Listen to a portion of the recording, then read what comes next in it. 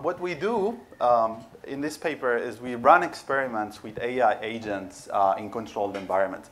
So we basically let the agents play games economists uh, know a lot about. Now, the reason we do so is because we, we simply want to bring data and inform this debate on the effects of AI on marketplaces, which is very lively and cross-disciplinary, okay? Now, um, this was a very fruitful exercise to us, so we also want now to advocate um, for using more of these uh, experiments uh, to replace or complement the experiments that we make with human subjects in the lab um, to learn about economic behavior or uh, to test our theories, okay? So we do lots of things in this paper. I'm gonna focus not on the prisoner's dilemma thing, which we do for obvious reasons, but I'm gonna focus on the oligopoly model. Now, we know a lot about reinforcement learning since last night. Uh, wonderful talk and yesterday.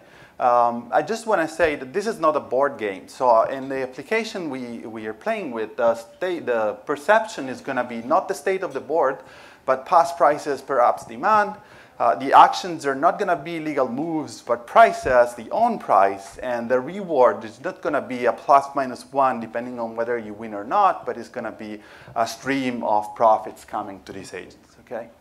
Now, Q-learning in reinforcement learn, sorry, Q-learning is a class of reinforcement learning algorithms. It's very natural. I guess we agree now that it's also popular. They use it this is the building block of those fancy algorithms that we saw throughout the day yesterday. And um, um, it's also not fancy. But you know, the version that we employ is what is called a tabular solution method. This means that we expect um, fancier version. As we add sophistication to the algorithm, we expect these insights to hold up. Um, okay, so, and this also means that it's very simple. So there are just three key parameters here. The first one is alpha, which tells you at which speed the new information which is coming in from these rewards is incorporated into the existing body of knowledge. The second parameter is the extent of experimentation beta. And the third parameter is the discount factor, okay? Now, the baseline game is just a simple plain vanilla oligopoly model um, with two firms, differentiated goods, cost and marginal cost, and logit demand. Okay, so this is the workhorse model that we use in I.O. to read data. So it's been extensively used. We're not going to read data. We're going to actually write data with this model, and we're going to read off uh, insights from this data. Now, in the baseline implementation, we're going to allow these agents to have a limited memory. What this means here is going to be a one-period memory, so they're going to remember what, only what last period prices were. And then we're going to let them choose prices on a grid of 15 price points. Okay? Now, being this a very rich model, it allows us to do many things, right? So we can play with the number of players. We can play with asymmetries in demand, in qualities, with asymmetries in cost, supply, and then uh, we can play with the demand shifter, we can play with differentiation, we can also play with the complexity of the model. So what we do is we increase the memory, and we increase, and we double the size of the action set.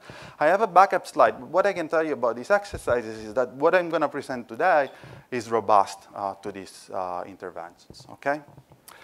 Now, our approach is really, we're looking, we have this alpha, beta, delta, and we're looking on a grid of alpha, beta, deltas. For each point on this grid, we're gonna have this, um, we're gonna run 1,000 sessions, and one session is two Q-learning algorithms, right, starting with no knowledge and playing for a long time. I'm gonna report results which are averaged across sections and sometimes across the grid, what Q-learning means in this context is that these guys, they will start with no knowledge, random strategies, okay? A strategy here is a mapping from, past, from last period prices to today's prices. Then, over the course of the session, the strategy will evolve, okay? How well actions that performed well in the past, as we learned yesterday, are gonna be reinforced. And uh, what we see is both actions and strategies, so we can actually report on both. Now, the results here are that these two Q-learning agents, they typically, sorry, uh, they learn to play, okay? They learn to convert, sorry, they learn to cooperate, and they actually learn to, to collude. By learning to play, I mean that this sequence of strategies eventually stops evolving, so they converge. This is not obvious at all. Susan yesterday told us that there is some incompleteness in the theory in the sense that there is no theoretical guarantee that this would happen. And the, the reason is that this is a highly unstationary world because there are these two Q-learning algorithms playing with each other, even though remember, they don't even know that they're playing against each other, okay? Um, they all of them converge. On average, it takes 1.6 million interaction over the grid. Is that fast? Well, yes. In CPU times, it takes minutes, not, uh, not days like yesterday, so it's fairly simple. And it's somewhat slow in the sense that they, you cannot put this in production, right? So if you want to use the Amazon API to deploy these algorithms to price your goods, that's going to be very expensive to you. So what this means is that you will have to train them uh, with data off-policy. But I think companies that are offering repricing services, they have plenty of data to use to train these algorithms. So how do we measure cooperation? So we measure here, I'm going to use this delta, which is the gap between the full collusive profits and the static Nash profits. And I'm going to tell you what is the percentage of this delta which is ripped off by these algorithms, by these uh, Q-learning agents, okay? And this is over the alpha beta grid. And the message from this is that cooperation is across the board. It goes from, say, 50% around here to 99% around here. It's maximized when they experiment a lot and when the information is incorporated slowly into the existing body of knowledge. Second fact uh, has to do with delta, the third element of the grid. Uh, as economists, we think a lot about deltas. So as you would expect, cooperation goes up, uh, okay, with, um, with frequency of interaction. Mm?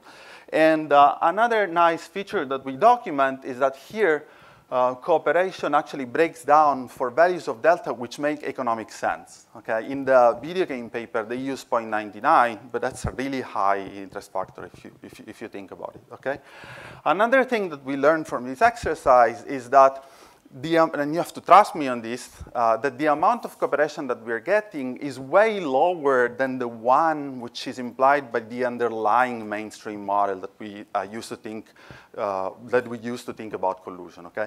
What this means is that we, are missing the relevant incentive constraint, and, and so we, we really need to go back to the drawing table to understand what's actually going on and have models that incorporate this learning feature to understand what are the relevant incentive constraints. Forget about the usual threshold that we think about. The last thing I want to do is to give you a glimpse of the strategies and about collusion. How am I going to do that? Well, think about the following exercise.